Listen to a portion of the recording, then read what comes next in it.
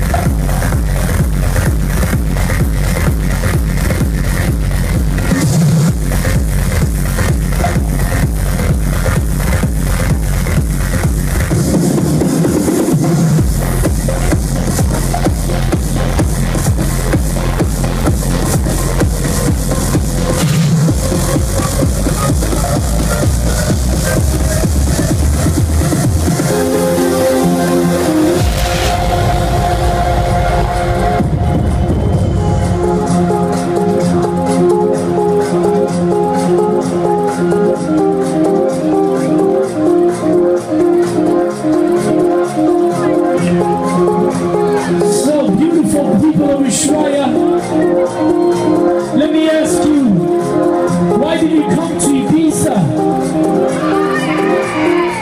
Did you come to Ibiza because of the beautiful beaches? Or did you come to Ibiza because you wanted to get drunk?